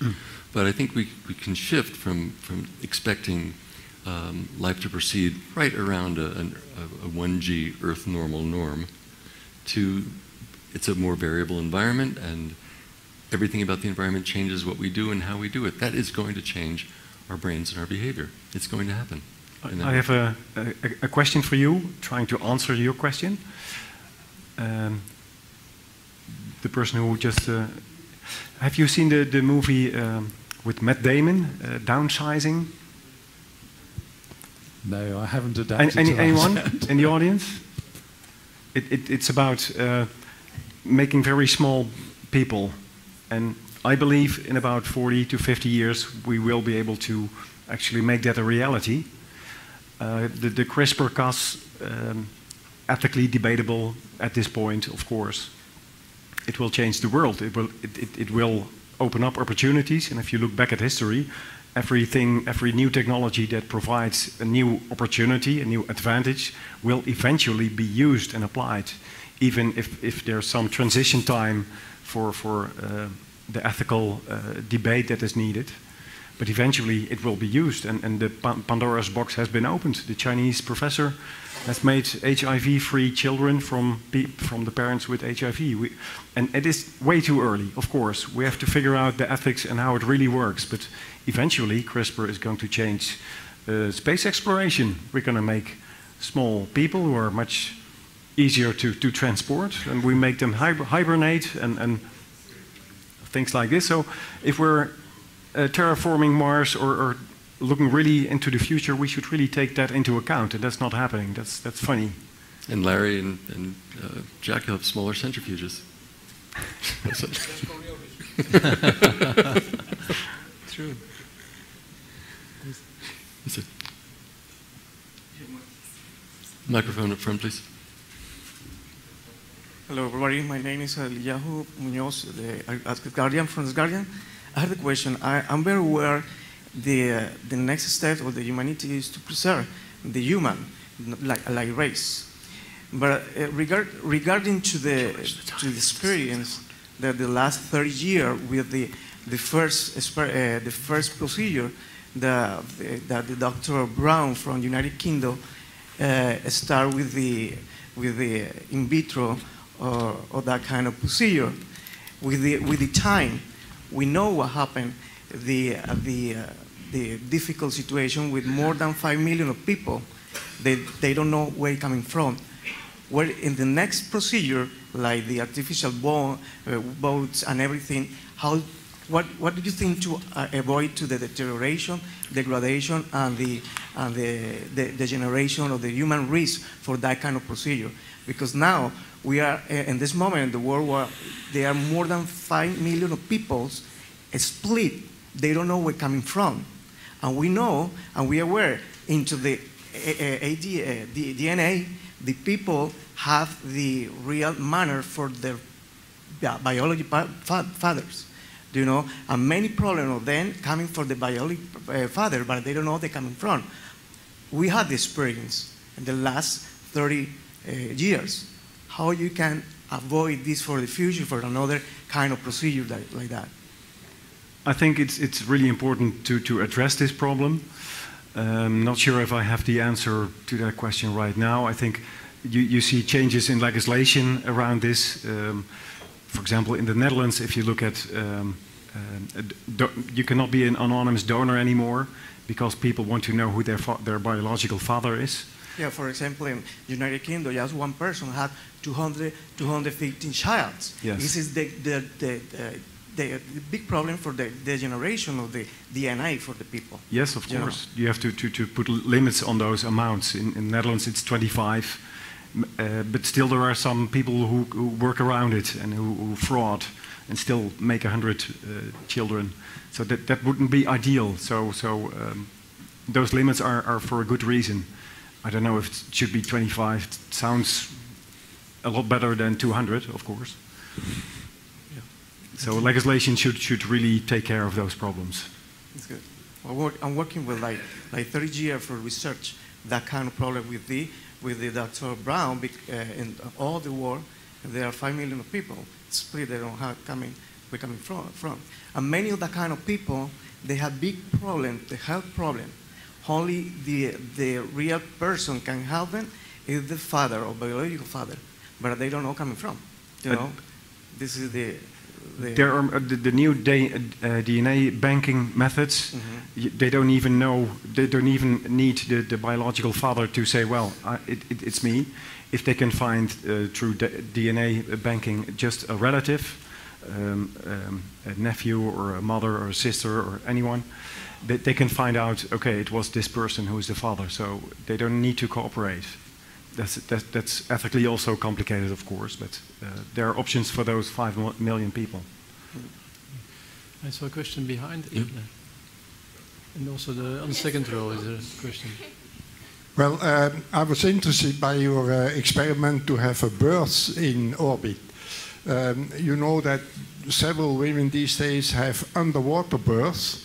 Uh, I wonder if there is already a biological or other difference between the mothers who do it in the dry and mothers that do it in the water. And from that, maybe you conclude what happens when you do it in zero G. Uh, we, we've been talking to, to uh, obstetrician experts uh, who did the research on, on, the, on those differences. I, I don't know the details by heart, um, but there would not be. It, it, it matters a lot if you have your first delivery or your second or your third. So that's why we have to, to stay on the safe side to start with, and then uh, find out if that does not would not cause any problem at all. Then we, we could move on to to uh, other variations. Uh, but for example, the, the position in, in which you give labor, the most natural position is, is, is like this. And, and we are used to, uh, in, in, in the Western uh, world, we were used to lying down like this. That's not even natural. And, and, but, but people are adapt, adaptive in, in, in that way as well. But there are no big, that, that's definitely not a bottleneck for, for the experiment. The, the, um, the sensory stimulation that uh, an infant receives during vaginal birth turns out to be uh, crucial for its making its transition from the, the uterine world to the external world. And if, it's, um, if they're handled too gently um, during the birth process, they actually can suffer. So in, in this rat preparation that I was showing you, we'd actually, that ground-based work was all about reconstructing vaginal births with, with little devices that we could simulate the, the number and the force of contractions, the temperature changes, the tactile stimulation, this long list of things. If we minimized all of it and did these super, super gentle births and then clamped the cord, the babies just expired. They never gasped, they didn't struggle, they just expired. Um, I did a presentation of this at, at a, a small conference, and there were a couple of British um, obstetricians in, in the group, and they went wild when I presented these data because there had just been two drownings of these water babies in, in Europe where they were doing these, these extremely gentle births, and they were linking the, the, uh, th those data with these. So the, even with cesarean sections, if, um, when I've spoken to um, the obstetricians and nurses who work on them, they're actually very, very stimulating, especially do these little bikini uh, incisions. And the physicians are, I'm told, will press so hard on the mother's abdomen, they lift themselves off the floor to squeeze these babies out. So they're, and they, of course, they're preceded by Pitocin treatments and, and stimulating, or stimulating, um, you know, really vigorous contractions. So uh, it would be an issue, but I think that Yeah. it, it would be manageable for sure. Without Yeah, no C-sections in space. That's uh, causing a, a lot of other problems. Yeah, lots. Yeah. So we you want to prevent that. There was a question over there. Yes, in the second row. thank Paul Schoffelen, University of Maastricht. I have one question for you, Jeffrey. Does this uh, astro uh, neurology does mean that it, for all us humans that our development, our neurological developments from the birth onward, and the, the vestibular system is dependent on the period that our mothers carry us. So it's also uh, think something that is very important for us on Earth, how we develop, not only for space. I didn't, I didn't quite follow your speak question. Louder in the microphone, please. Maybe I should, it, should hold the microphone better.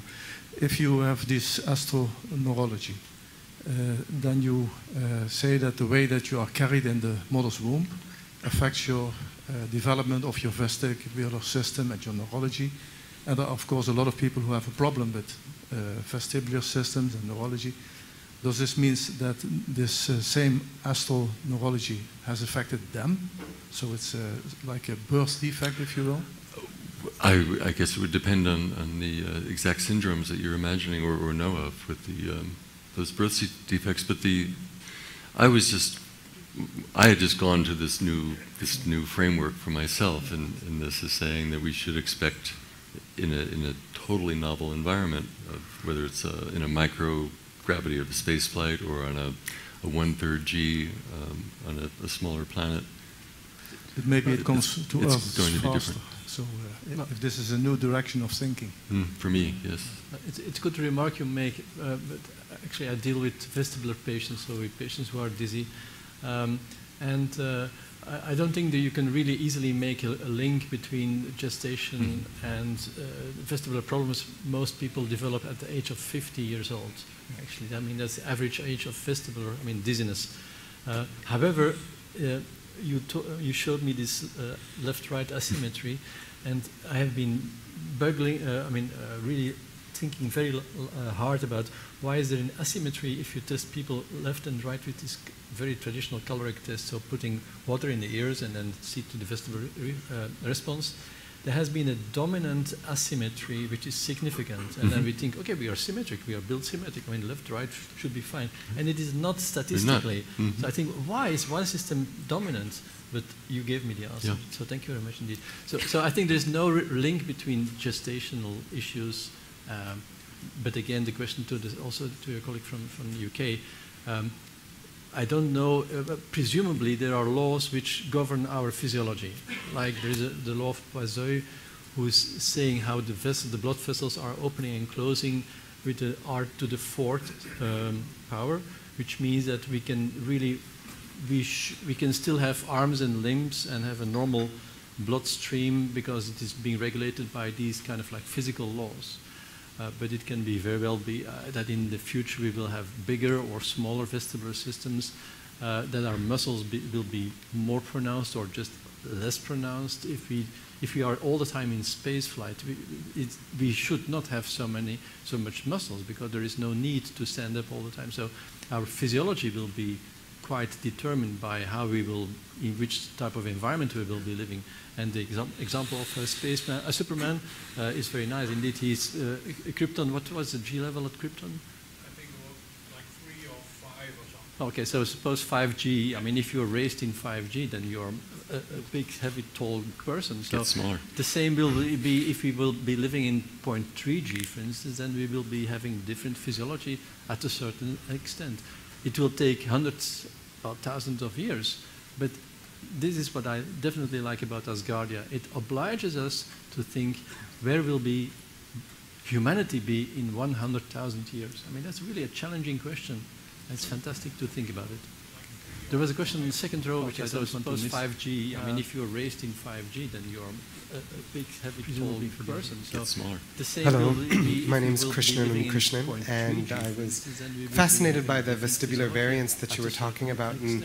I'm not sure if any research has been uh, done in this manner specifically, but what I was thinking about, because we were talking about definitely like about vestibular dysfunction, also there's like think where will hyperfunction of the vestibular, for especially those uh, like looking into like yoga and using practices to really create these different types of There was a um, physical in the second row, movements that have very strong if you raise cognitive um, uh, effects, uh, lower anxiety, like all these different um, My name is aspects. And I just wonder whether we can practice um, some of these types of that you were manual manipulations I'm not sure ahead of time, since there is such uh, plasticity, to create but what I was uh, a thinking about was situation where we would then be able to manage um, when we go out into space, because we already have practices here that we could supplement and, and, uh, and kind of look into, and I'm just not sure if there's any research yet there, but it just seems like there's a lot of potential to look into these um, techniques where people have already um, known, oh uh, yes, we are uh, affected by the way we walk, and we are like all these affected by the way we aspects, and I perceive reality um, based on how we're affected with gravity. So of These types of of upside down poses are very, very ahead of time, valuable in terms of not just from a physical point of view, but from an uh, emotional point of view, from a um, psychological point of view. And I just feel like there's a huge space, because we already arena of, of research there that could uh, help us understand whether we supplement both physiologically, but also perhaps just even just assisted uh, technologically, like we have with like a pacemaker to help us uh, practice certain things that we may not be able to, to get in space. So it just seems like a really nice That's, I think, really creative idea. how we're affected That's a really gravity. fabulous insight. Upside That's down poses are very, very valuable. It's true that you in say terms that there of, is a, not just from Larry physical point of view, Rebecca but also also agree that from a, um, um, there's very little psychological of view. predictability And I uh, just what feel you can do on Earth or there's a even arena of- of uh, train yourself help us and then not being stuck whether in we can space or being those stuck in space. It's actually not physiologically, really a but model. also And actually it's also not seems very popular assisted, among uh, technologically, like we have to try to find out if they, will- if they will be sick in space because if they are found to be, oh, you will be sick in space, okay, we'll take another one. And then after 15 years of training, so it's kind of like difficult. But still, there are no models on Earth to predict space motion. Yeah. One, the six has uh, paradigm. The, the, the biofeedback uh, system that, that Larry had referenced early on Fair on this, Larry? was, was one example. The astronauts were very non-compliant. They were uninterested in saying, well, I get sick, we'll try this.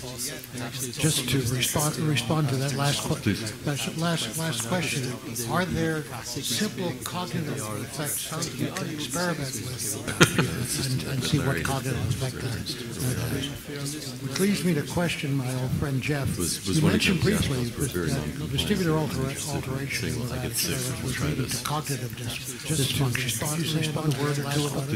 um, no. This, the, uh, because it was not from, from my research, it's from this, uh, the Smith and, and Zheng paper. And uh, that was, the paper is a, it's a review article, um, and not a, um, an experiment, but what they were doing is, is going through these, uh, these galvanic uh, stimuli. The literature from what, as they were reviewing it, is heavily weighted, as I said, toward the um, spatial learning and memory. Uh, but Okay, well, to say another word about a field that I don't know about. No. Uh, handedness, handedness, there is a significant The, uh, literature on handed- because handedness. it was I've not never from, heard my research, referred to in uh, the context that you mentioned. Most of it had And, to uh, do with That was things a like paper, it's a- the, review uh, article, um, and not a. uh, the sunlight versus, what they were uh, doing is- is going versus through these, uh, non-sunlight during the uh, uh, first three months of The literature from what, This is as they were our reviewing old friend heavily Norman weighted, as I said, toward the uh, spatial learning. and memory. Testosterone levels in utero. But- Okay, well, to say another word about a field determining right-handed versus left-handed, there is a significant. No, this Previc analysis, I mean, it's an extremely integrative uh, review. And I just mentioned once when I was, uh, that was a paper, uh, this is a summarizing part of his observations, is that he actually, by the, uh, as he develops that section of this review paper, links it very tightly also to uh, anti-gravitational extensors in the two legs, as also being part of this, this handedness. Fred Previc was a very well, is a very well-respected researcher He should be, yeah, he's really very, very impressive. No, this Previc analysis, I mean, it's an extremely integrative. I'm asking for Kirill And Pletner, I just mentioned editor-in-chief once of uh, I was, that Aerospace Journal. Is Um, part of his He's wondering if any of you by um, as he develops that section of today would be willing to become links it very fathers of babies born into space. Thank you. being of this, this handedness. Of course. Fred Previc was a very well, is very well. It would But depend on the mother. He should be. I- I- very, very impressive. Um, but I, I think that's a, that's a great responsibility. I mean, you you Asking uh, you need to be an example in, in, in several ways, and, and being a, a founder of a company who's doing research should not be should not have this privilege. So I would want to, but I would reject because that, born into space. that wouldn't be uh, ethically right. Thank you. But uh, of course, I would like to to be part of that Fred Previc was a very. step in evolution. But depend that, that mother. was, should be. I- I- Really, very, very impressive. Um, I wasn't on the speaker, so. But I, I think that's a, that's a great responsibility. I mean, you, you, Asking uh, you need to be an example in, in, in several ways, and, and being a, a founder of a company who's doing research Thank you. should not Uh, be Mitch shouldn't have this privilege. So Um, I would want to, your but I would reject um, because that, is uh, how many wouldn't be, uh, portion of women in your company? right. Thank you. But Uh, of and course, I also, would do you to, actually to have any women who would be interested in giving step in birth evolution. in But space? that It just strikes me that you know, childbirth is such a difficult and complex Um, thing, I wasn't on the and then the idea is send the women space to do it, and just such a male sort of idea. And I just wonder if any women would actually ever sign up for this. Uh, so I'm, I'm just wondering about. I get what you what you say, and, and it's a fully legitimate question, and we've been uh, eager to to get a really good balance in in, in the, the, the people that support us, and now I think it's 30% uh, female in the, in, in the population that, people are that are supporting us. And we, we, still, we, we always try to raise that percentage, but, but this, this feels like a minimum. And do we have people who are interested in, in delivering a baby? Many. Women rather than people? Yeah, uh, women, definitely. But, but uh, we are, of course, already thinking about selection procedures, and um, it, it's very important that, that participants not only match all the medical criteria, psychological criteria, uh, but also the, the, their motives. I mean, they shouldn't, they should never do this for, for fortune and fame or something, being a, a very special person uh, if it happens, being part of the group. Thank you. I'm reluctantly going to, um, to, to, close this, this roundtable session because I think it's to adhere to the schedule. We're, we're here to talk and, and interact be happy to do that. I still have to make a couple of. Uh, Please, and we need some some time for announcements. The, but thank you very much for your attention. Yeah, wonderful for you. Um, so I want to definitely thank all the speakers of uh, this afternoon. It was a magnificent uh, top-level session. I really loved it tremendously. Uh, the, I have a couple of remarks also. In your uh, bag, there is this magazine room, and the next issue will be uh, partly dedicated to actually the, this conference and to, to talks given during this conference. So I kindly ask you uh, to take this opportunity to send in by the end of October uh, a manuscript which will be published in this uh, journal. Uh, uh, in this journal, it doesn't have to be novel work. I mean, it's not like in the other journals that it has to be unique and novel and never published work. So, but please grab this opportunity because it's definitely going. To, uh, it has a large spread. Another remark I want to make is at the, at the very last day, at the very last session of the conference on Wednesday, there will be three prizes given, uh, prizes given to uh, the best young students uh, presentations or posters. So uh, that's still there. So there is a, a science committee. He will be uh, being a jury and looking at the posters as well as the presentations and give the prizes to the young students uh, on this conference. Uh, as you know, the gala dinner tomorrow is uh, included in the, in the conference, so you are all warm, welcome to come to the, to the gala dinner. There will be buses leaving tomorrow uh, afternoon, I mean at the end of the sessions. Finally, um, I would like to kindly invite you now to grab a drink, and look at the posters and get together for the next couple of hours. Thank you very much for being here. Thank you.